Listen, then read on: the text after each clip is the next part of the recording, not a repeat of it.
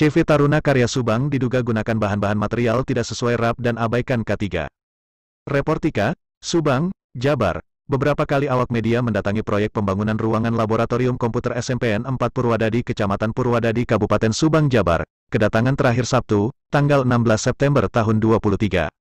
Pantauan awak media, pertama, ketika beberapa kali awak media mendatangi proyek tersebut belum pernah ketemu dengan pemilik CV, Taruna Karya dan petugas pengawas dari dinas terkait, dugaan dengan hal itu lemahnya pengawasan. Kedua, diduga CV, Taruna Karya menggunakan bahan-bahan material tidak sesuai RAP, rencana anggaran belanja, atau spek. Salah satunya pasir menggunakan atras, semen diduga harganya lebih murah, bata merah diduga kurang matang diduga pembakarannya pakai dedak, maka dengan hal itu diduga hasil bangunan tidak akan bertahan lama, begitupun bahan-bahan material yang lainnya diduga tidak sesuai spek.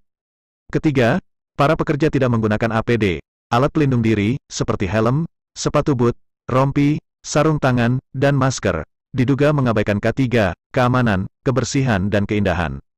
Di mana proyek pembangunan tersebut tertulis di papan informasi proyek, pekerjaan, pembangunan ruangan laboratorium komputer SMPN 4 Purwadadi, lokasi, Catch, Purwadadi Kap Subang, sumber dana, APBD, DAK, tahun 2023, No SPK, PK, pukul 1 lewat 2 garis miring 39 garis miring sp.smp, 14, ppk, Disdikbud, Pelaksana, CV, Taruna Karya, nilai kontrak, RP, 338.387.900, waktu pelaksanaan, 120 hari kalender.